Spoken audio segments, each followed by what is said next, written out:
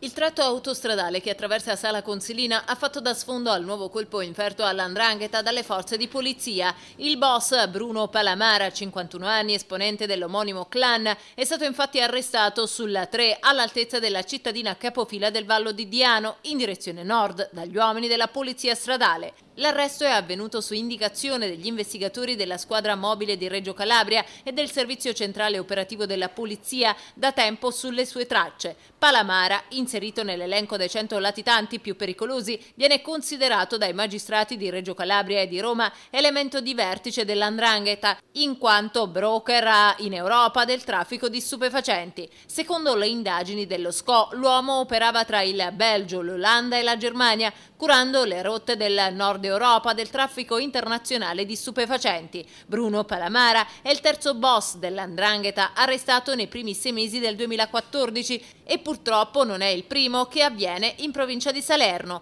Pericolosi affiliati ai principali clan malavitosi sono stati acciuffati in più di un'occasione anche a godersi il mare e il sole della costiera cilentana. Nel caso di Palamara si è trattato di un solo passaggio in provincia di Salerno.